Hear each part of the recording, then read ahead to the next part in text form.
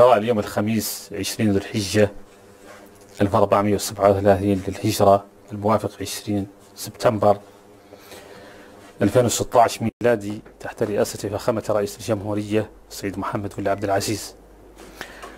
وقد درس المجلس وصادق على مجموعة من مشاريع القوانين والمراسيم والبيانات نذكر منها. مشروع قانون يسمح بالمصادقة على اتفاق بين حكومة الجمهورية الإسلامية الموريتانية وحكومة جمهورية السودان للتعاون في المجال الزراعي الموقع بالخرطوم بتاريخ 2 سبتمبر 2007 بيان بيانا حول مشاركة بلادنا في معرض أنطاليا الدولي.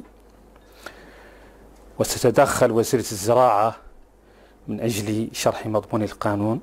كما أعود إليكم أنا كذلك لشرح مضمون البيان. شكرا. بسم الله الرحمن الرحيم وصلى الله على النبي الكريم. آه، كان لي شرف اليوم في اجتماع مجلس الوزراء بتقديم آه، مشروع قانون يسمح لفخامة رئيس الجمهورية بالمصادقة على اتفاق التعاون في المجال الزراعي بين الجمهورية الإسلامية الموريتانية وجمهورية السودان موقع بتاريخ 2 آه، سبتمبر 2007 بالخرطوم. ويندرج هذا الاتفاق ضمن الاهتمام المشترك لقائدي البلدين آه، فخامة الرئيس سيد محمد العبد العزيز والمشير عمر حسن أحمد البشير بتعزيز التعاون القائم بين الجمهورية الإسلامية الموريتانية وجمهورية السودان في المجال الزراعي. آه، دعما لأواصر الأخوة والصداقة التي تجمع الشعبين الشقيقين وكما يعبر عن إرادة البلدين الرامية إلى تشجيع وترقية التبادل الثنائي في المجال الزراعي وتبادل الخبرات والسلع الزراعية وفقا للنظم المعمول بها في كلا البلدين. آه، إذا عن هذا الاتفاق له يشكل إطار عام للتعاون ستقوم وزارة الزراعة في البلدين من خلال خطط عملية في المجالات اللي تنص عليها هذه الاتفاقية إن شاء الله آه، والمتعلقة أساسا بتبادل الخبرات والمعلومات العلمية ونقل التكنولوجيا وإقامة مشاريع زراعية آه، مشتركة وكذلك التعاون في مجال البحوث الزراعية والبستنة وإنتاج المحاصيل وتكنولوجيا المعلومات ونظام الإنذار المبكر. آه، كما تعلمون السودان دولة رائدة في مجال الزراعة في العالم وفي الوطن العربي خصوصا. وعلى ذاك الأساس سنستفيد من خبرات آه، الخبرات السودانية في هذا المجال. كما أن موريتانيا آه، لديها بعض النقاط في المجال الزراعي تتقدم فيها وهي آه، مكافحة الآفات الزراعية.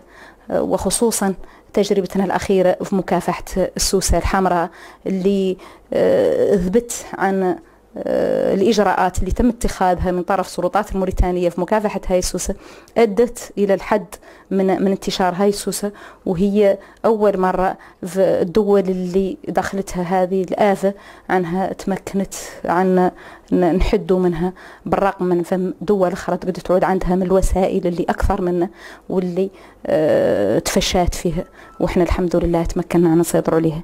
إذا عن فم بعض المجالات قد تشاف التجربة الموريتانية وفم مجالات أخرى سنستفيد منها في التجربة السودانية. وأشكركم. شكرا الوزير سؤالي يتعلق بهذه الاتفاقية بميدان الزراعة اللي توقعت 2 سبتمبر 2007 بين موريتان والسودان ووقعت في الخرطوم بين الرئيسين.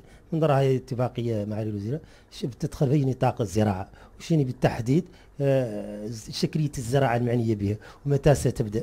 ما هي مردوديتها على الشعب الموريتاني؟ وشكرا معالي الوزير. هذه الاتفاقية تم توقيعها بهذا التاريخ بين وزراء خارجية البلدين.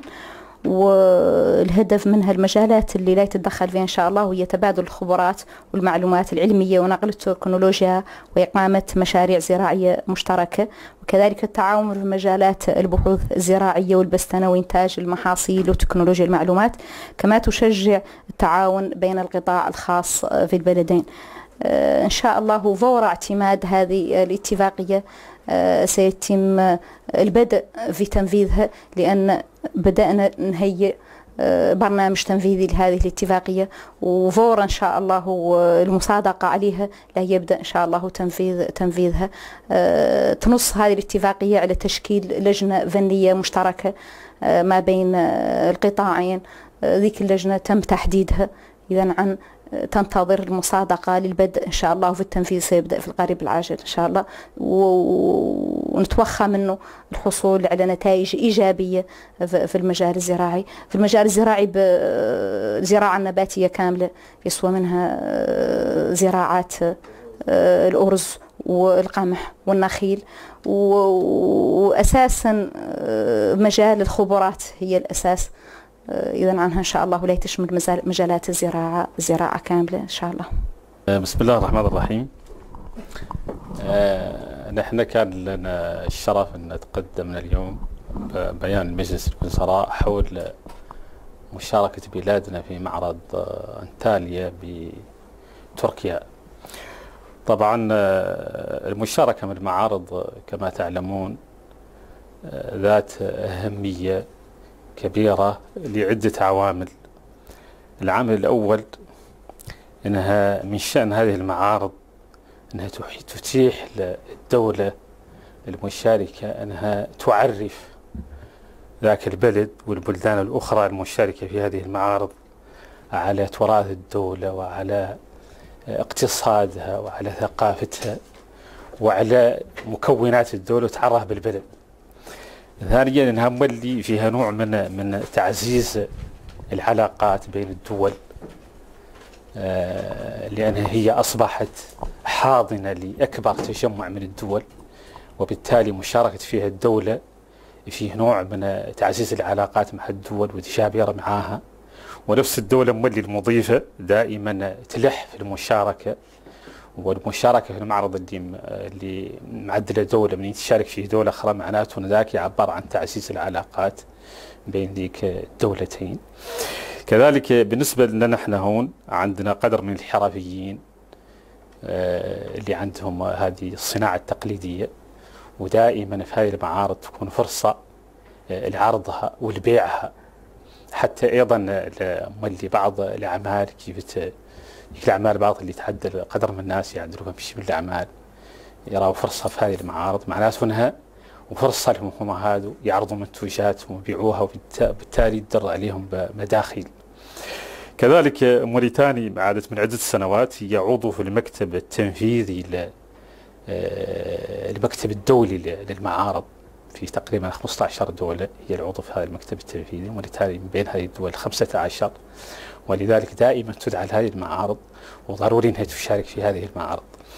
طبعا هذا المعرض اللي اللي اللي في انتاليا مشاركه فيه قريب من أزيد عن 50 دولة وأغلبها من الدول العربية والإفريقية وزاروا حتى الآن ما يناهز مليونين سائر وهو أصلا عنوانه هو الزهور والأطفال غير موضوعه هو الزراعة والحدائق ولذلك موريتانيا مشاركة فيه بمزرعة وفيها مختلف أنواع الزراعة ومشاركة أيضا بعروض من التراث التقليدي من الصناعة التقليدية ومشاركة أيضا ببعض اللوحات والعروض عن موريتاني أيام تعريفية موريتاني وفهم فيه قدر من الحرفيين اللي عارضين عارضين التراث ويبيعوا في اماكن مخصصه للبيع.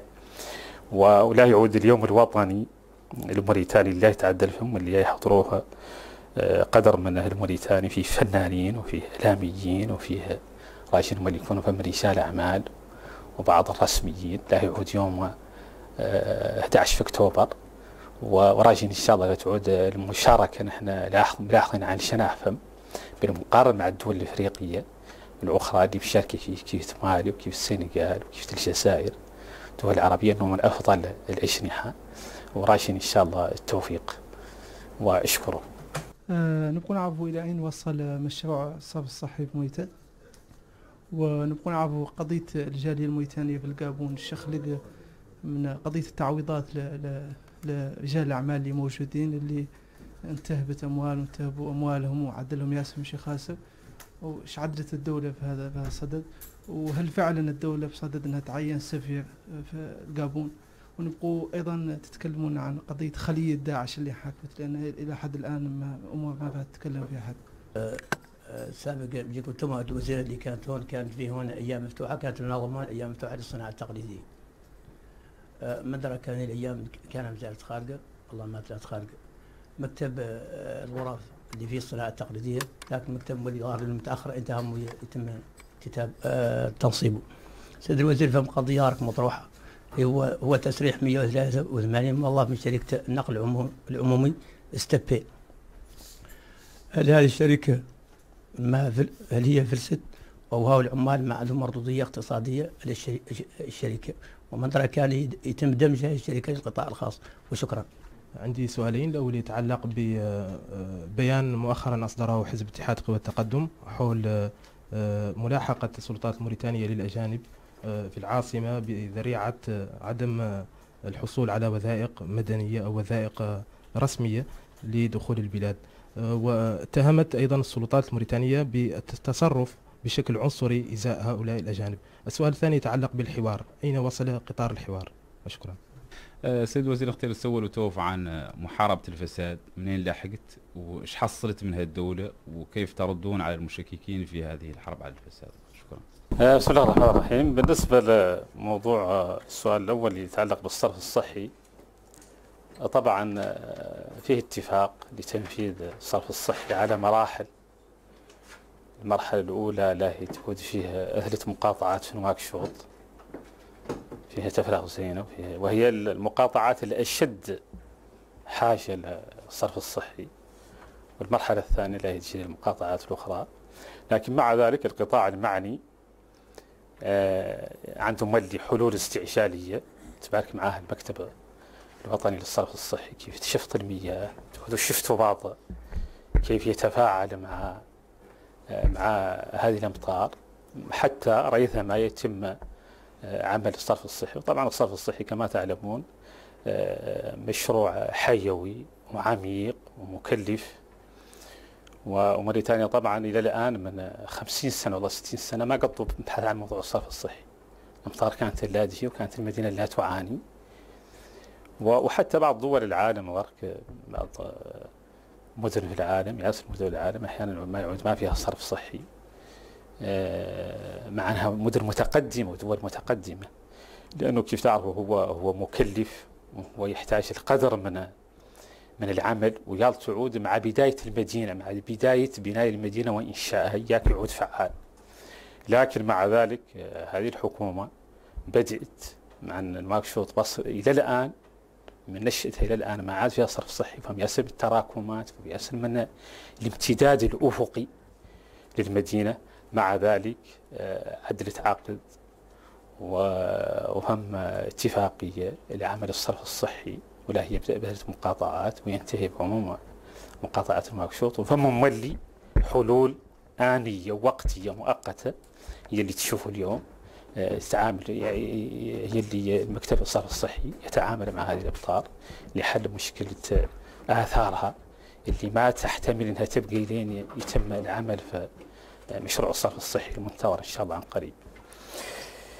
آه، بالنسبة للسؤال الثاني اللي حول لجاليتنا في الجابون طبعا آه، ثم جاءتكم هنا وزيرة الخارجية المكلفة المنتدبة المكلفة بشؤون الموريتانيين في الخارج.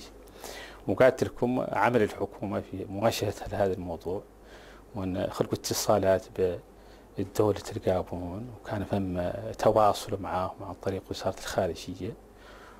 عن طريق ال ال الدبلوماسيين المكلفين بهذا العمل وكانت ثم نوع من الرعاية لهم ونوع من الإغاثة لهم بصفة عامة والبحث عن موضوعهم.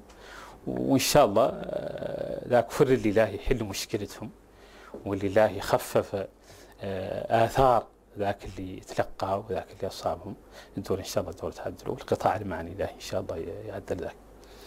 بالنسبة ل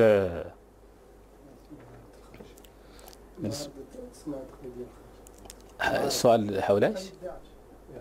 إيه، لا لا هذه هذه هذا بعض الشباب اللي قضية انتمائهم لداعش نحن ظاهر إنه ما هو ما هو صحيح لا الشباب والتوفيق غير ذلك عادة داعش عادة موضة لا كل حد يبغى يقول إنه هو من داعش والله من كذا غير نحن نرى توف الشباب عاديين قد يعودوا هذا الشباب والتوف اللي توف قد يعودوا عندهم بعض التذمر والله آه، متنقلين لعمل.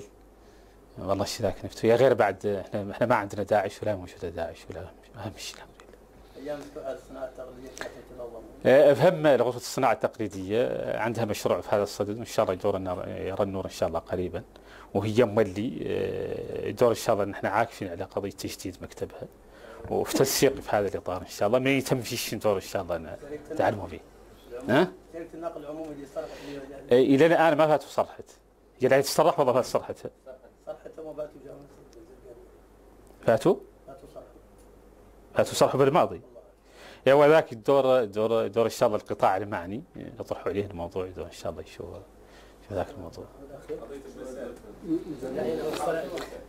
قضية الفساد آه، أنتم تعرفوا هذا النظام من أهم الأمور اللي قام عليها هي محاربة الفساد. والحرب على الفساد ما هي الشعار وإنما هي خطة عملية. رأى النظام أعلن من أسباب تأخر موريتاني. في الف- في الفترة الماضية وفشلها في كثير من القضايا هو هذا الفساد اللي كان ينخر فيها منذ سنوات وأخذ هذا النظام على عاتقه محاربة الفساد. وفهم عدة عدة آليات لمحاربة الفساد على المستوى القانوني. تعرفون فهم ترسانة من هذا قانون الفساد اللي صدر أخيرا. على المستوى المؤسسي. تعرفون المؤسسات آه، المفتش العام للدولة المفتشية العامة للدولة ومحكمة الحسابات وهم المفتشيات المفتشيات الداخلية. معناتهم فهم آليات لمحاربة الفساد وعلى المستوى المالي التنفيذي والمتابعة أنتم تعرفوا عن اقتدت ياسر من أموال الدولة اللي كانت ماشية عن طريق الفساد. وتعرفون فهم مولي هناك إجراءات ترشيدية خلقت هذه قضية آه، ال- ال- السكن اللي كانت تستأثر به تستأثر به مجموعة معينة من الموظفين واللي انقبض وعاد يوزع على جميع الموظفين. هذا محاربة الفساد. قضية رواتات الدولة اللي كانوا مولي يعودوا عند الموظفين ما هم ياسرين وينعطى لهم وتنعطى لهم المحروقات ويمشوا شور كل بليد بينما الناس الأخرى ما عندها وتات ويستنزفوا ياسر من الأموال وكذلك فواتير الماء والكهرباء. هذا المفروض تعرفون أنه وضع له حد وعادة الوتات الخارج منها ما ما ما خارج بدل نقل وعمم على الناس عاد فيه عدالة فيه. وتعرفون عن ذيك الفواتير اللي كانت ماشية بذاك الشكل ذاك في الوقف. فهم ياسر من الإجراءات وتعرفوا عن ميزانية التسيير زاده اللي كانت آه، آه، يمشي ياسر من الفساد إنها تقسط ب 50% هذا من باب محاربة الفساد. وتعرفون فهم واحدين وشردوا من مناصبهم نتيجة آه، لمحاربة الفساد. وفهم واحدين خصوصا من المعارضة ومن الموالاة. ما كان في تمييز في هذا الجانب. ظاهر لي اعلن اعلن حتى أيضا الت- التنظيم اللي خلق للصفقات ولجان الصفقات اللي كانت تنقبض بصفة التراضي وعادت لابد لها من لجنة الصفقات تتابعها وتقرها وتتابع مولي تنفيذها. هذا فرد من آليات محاربة الفساد.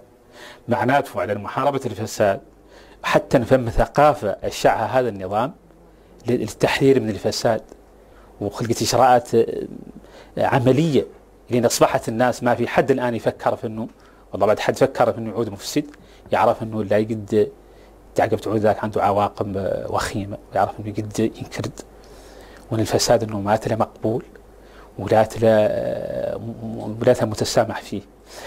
معناته أعلن هذا النظام قطعا حرب على الفساد أنها لا هوادة فيها وأنها حرب موجودة ولا يقد يعود حد مشكك فيها موجوده على المستوى القانوني موجوده على المستوى المؤسسي موجوده على المستوى الثقافي وثقافة محاربة الفساد وموجودة أيضا على المستوى التنفيذي كما تعلمون وعلى المستوى الفعلي ومجسد على أرض الواقع. ردكم حول بيان آه نعم شفت هذه البيانات اللي آه، من شكل هذا البيان. هذه بيانات نحن قد نقول انها ما هي موضوعية ولا هي واقعية ولا هي بريئة. لأن حد في هذا العصر هام وموريتاني تعود فوضى ظل آه، هذا العصر وفي ظل مولي الوضعيه الدولية الآن اللي وضعيه الهاجس الأمني فيها مسيطر والدول تعاني من تدهور أمني. قضية حد هام وتعود موريتانيا فوضى ويعود قاعد فيها حد بصفة ما هي قانونية. والله جايها حد بصفة ما هي قانونية. هذا ظاهر لأنه ما هامه مصلحة موريتاني. ولا هامه خدمة استقرار موريتاني.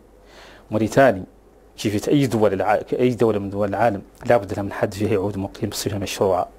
وحد جاي يجيها بصفة مشروعة. ولا أقول الآن حد في دولة يقيم فيها هامة تحافظ على منها ما معروف. في منين في آه، منين آه، ساكن. وأوراقه اللي ساكن فيها وصفته القانونية. وين تدخل؟ هذا هذه من المسلمات الآن الأمنية اللي الناس فرها متفقة عليها. ونفس الشيء يعانوا من الموريتانيين في الخارج. إحنا كنا نبغى هذه الأحزاب تعدل بيان مولي للحقوق الموريتانيين اتجاه الدول الأخرى. الموريتانيين لازم يطلع عندهم حقوق الدول نفسها تعامل نفس المعاملة. تعرفون على الموريتانيين يعطون يلودوا للت- يظلوا عند السفارات هون يلودوا في تأشيرة. ولا يراوها وأحيانا تقبضهم لا يتنعطى لهم ولا يراوها وتعرفهم ينطردوا زادهم من الخارج ولا يخلاوا يقيموا آه، معناته هذه قضايا قضايا دولية ومعاملة بالمثل. لابد من حد مقيم في موريتانيا لابد من يعود مقيم اقامه شرعية. وحد ما, ما عنده إقامة شرعية. طبعا إنه لا هي لا هي يبحث عنه. ولا هي يمشي لين يجي بصفه بصفة شرعية. ولا هي ينقال له انه لا يقيم هون ويمشي لين يرجع بصفه شرعية ويقيم بصفه شرعية هذه من المسلمات وظاهر لي عن حد زايد فيها والله يعدل حولها بيانات إنه قطعا ما ظاهر إنه يبحث عن مصلحة موريتاني وقطعا بيانات منها ما هي بريئة ولا هي واقعية ولا هي موضوعية. آه الحوار فيه ترتيبات ولا ينطلق قريبا إن شاء الله. هو الآن كيف قلت لكم الحوار قائم بالشكل العام فهم تلاقي وفهم تواصل بين المتحاورين وإجبارات أما بدء ورشات الحوار اللي لا هي تتمخض عن اتفاق وعن آه، وبعد ذلك آليات التنفيذ وهي اللي تبدا عن قريب إن شاء الله خلال السابعة تقريبا. أشكركم والسلام عليكم ورحمة الله وبركاته.